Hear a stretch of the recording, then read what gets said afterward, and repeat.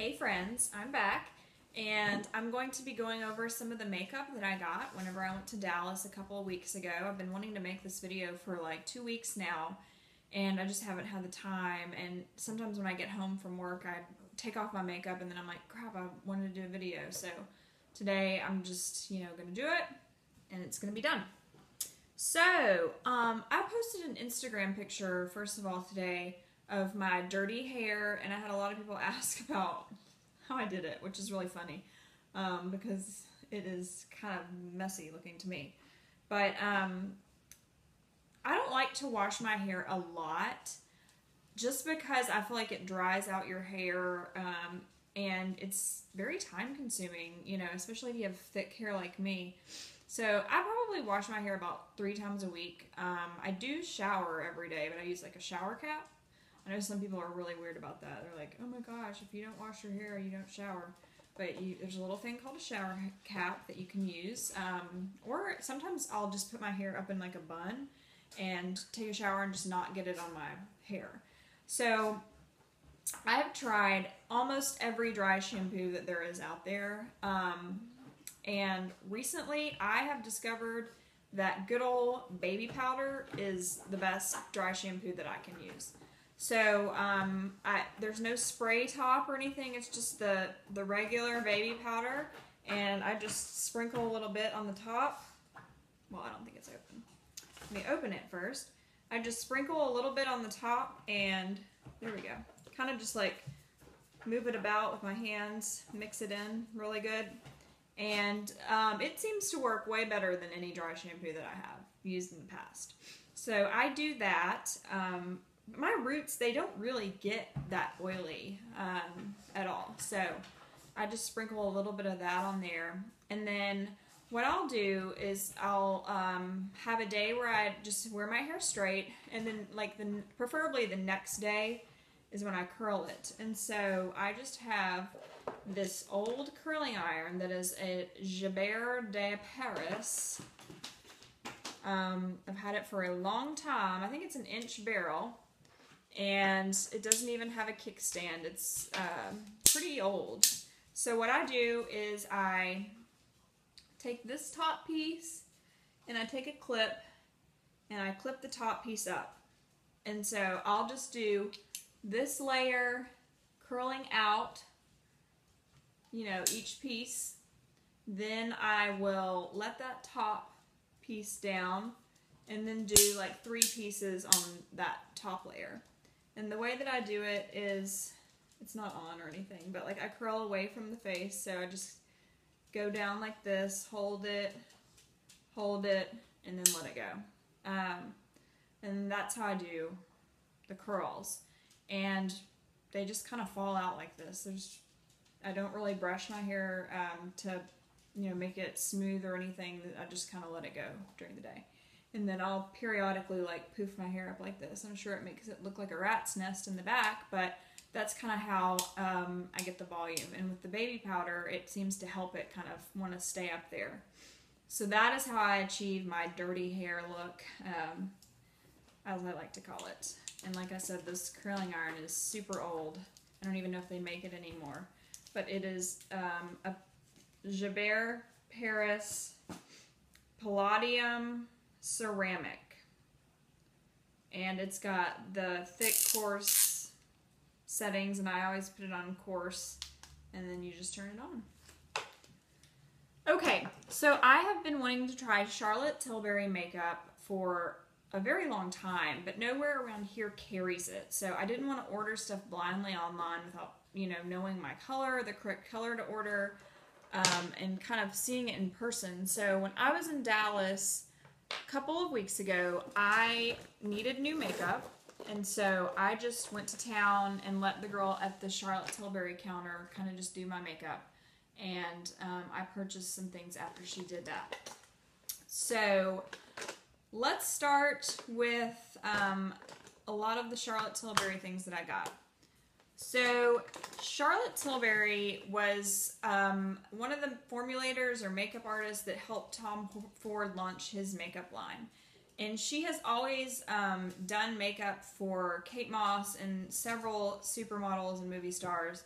and um, I think she just kind of wanted to go ahead and make her own line. And so she came out with her line, and it's actually pretty affordable compared to other um, like designer makeup. So um, I would say the prices are comparable to some of the, the things that you can get at a Sephora. So I was pretty excited about the pricing. Um, what I do first, and I don't have the little pot in here, it's in my bedroom, but I use her magic cream. They gave me a big sample of it. And so the magic cream is what Charlotte calls like eight hours of sleep in a bottle or something like that. She formulated it to um, make the skin ready for makeup and to kind of give it a glowing, refreshing look like you had slept eight hours because um, she has to deal with supermodels that don't get a lot of sleep and that you know kind of live a, a hard lifestyle. So that um, she wanted to formulate something that would kind of take that all away. So that is the magic cream. So i put that on first and um, i just use a sample that they gave me then there is another product that is called wonder glow and wonder glow is um, kind of a primer a makeup primer, and they gave me a sample of that as well. I really liked it. Um, it that combined with the magic cream or is her like duo um, effect of like the eight hours of sleep.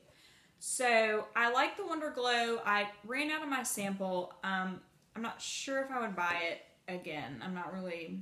I mean, I, I don't think that it made that much of a difference to where I would go buy the Wonder Glow, but I love the magic cream, so I will probably repurchase that once my sample runs out.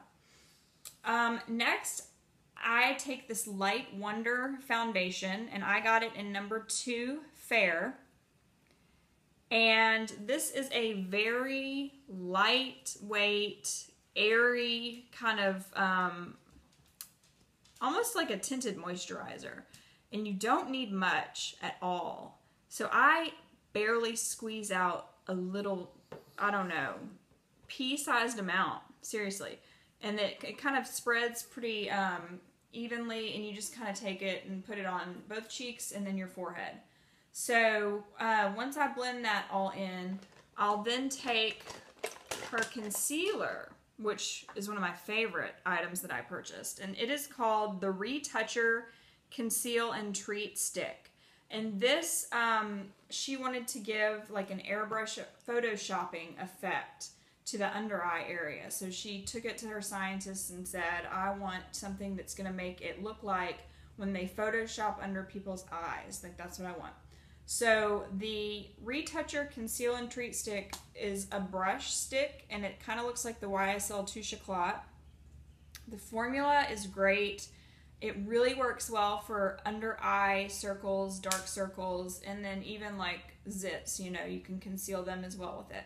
I love this concealer. It's awesome. So I would definitely repurchase this. Um, okay, the next thing that I put on after that is the Airbrush Flawless Finish Skin Perfecting Micro Powder. And it's just a loose powder, or not a loose powder, a press powder, um, that kind of gives more of like an airbrush effect. After that, this is one of my favorite items from her line. It is the Film Star Bronze and Glow Face Sculpt and Highlight. So this is like a contouring duo that's going to have one side for the sculpting and one side for the highlighting. So I take just a um, little kind of like an angled blush brush with the sculpt and I do right here right here and like around your forehead and then I take the highlight and do the apples of my cheeks down the bridge of the nose and just kind of around here and kind of all over the face. This is awesome. I would highly recommend this. It really gives you like a glowing look and it also kind of contours at the same time. Um, as far as price is concerned, I think that the foundation was maybe like 30 $35. Everything is like around 30 to $40. So it really wasn't um, all that bad. Especially when you think of like some of those Giorgio Armani foundations that are like $60 now, which is insane. And then I think the most expensive was this duo, and I can't remember how much it was, maybe like 50 something. Um, let me see if I'm forgetting anything. Oh, and I also got her Feline Flick eyeliner um, quick, quick fine line pen, and so it's kind of one of those Sharpie pen eyeliner deals. Um, I did use it today, and I like it. It's just honestly not that different than the Kat Von D one, or even like any other Sharpie eyeliner pen out there. Um, so it was, I think, like 20 something dollars. And I really think that is all of the Charlotte Tilbury stuff that I got that I wanted to talk about. Um, I believe that's it. So yeah, I love all the stuff. It all has um, a really good scent. It kind of all kind of smells like roses for some reason to me. So um, I'm obsessed with roses. So I love that scent. And I just really like the line and the story behind each product and how, you know, she has done Kate Moss's makeup and different, you know, movie stars and supermodels. So overall, I'm very pleased with the line. Highly recommend it. And I'll put the links below to all of the stuff that I talked about. Okay, so while I was at Neiman Marcus in Dallas, I went ahead and got another Byredo perfume. Um, I think maybe I've shown you all that I have the Byredo Mojave Ghost. I got that in Las Vegas um, a couple of trips ago for work. And then I got the Byredo, which one? I can't even remember. I have another one in there. Um, and so when I was in Dallas, I wanted to smell some different ones and find a new one. So I ended up getting Black Saffron in Dallas. Um, at that time, I really liked it, and I know that I've told you all that sometimes I'll get a perfume, and some you might even see me selling a perfume on my Instagram or something, and be like, "Why is she selling that perfume?" Well, what happens is I get perfumes because I like them at the time, and then a couple of days will pass, and then I'll be like, "That is rank. Why did I buy that?" Um, black saffron smells great.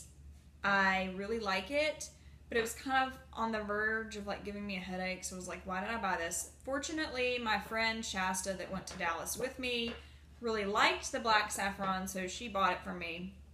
You know, issue resolved.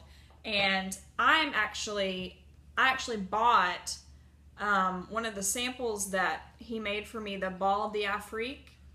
Uh, he made me a sample of this, and the more and more that I wore it, I was like, that's the one that I want to buy.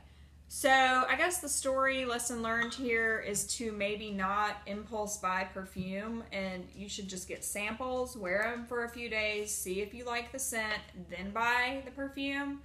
Because I will always impulse buy perfume. I'm like, oh, that smells so good. I want it now. Give it to me now. And then a few days later, I will hate it. So that always happens to me. So, um, Sean, the guy at Neiman Marcus, the Byredo specialist, made me a sample of the Bal d'Afrique and then the Gypsy Water, both of which I didn't like at the counter, but as I wore the samples, loved them. So, um, I went ahead and ordered the Bal d'Afrique and then the Gypsy Water. This sample is actually pretty big, so it'll probably last me a little while. So, I won't order this one, you know, until maybe when I decide that I want it.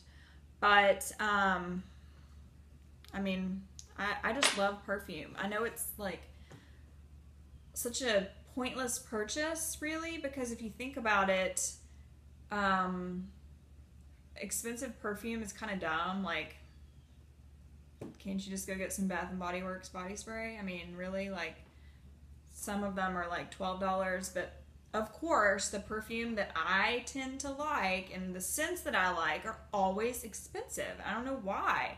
I wish that I could just go and like Moonlight Walk or whatever cucumber melon that I used to get from Bath and Body Works when I was in like the seventh grade, but um, I just really like unique and um, different scents. So um, I would highly recommend the Byredo line as well as the Frederic Malle um, Editions line. And I smelled one of those in Dallas as well, the Carnal Flower, and I think I talked about that in a couple of other videos. So um, I reaffirmed my love for Carnal Flower. So I'm currently um, watching one of those on eBay because they're so expensive, and I just don't want to spend that much money on perfume. So of course I'm trying to find a bargain, and I'm going to get it on eBay. Um, I think that's all that I had to talk about today. Hopefully, you all enjoyed. I know a lot of people were curious about the Charlotte Tilbury makeup, so I'm glad to have done a video on that, and hopefully, um, some of you all can give it a try and let me know what you think. All right, bye bye.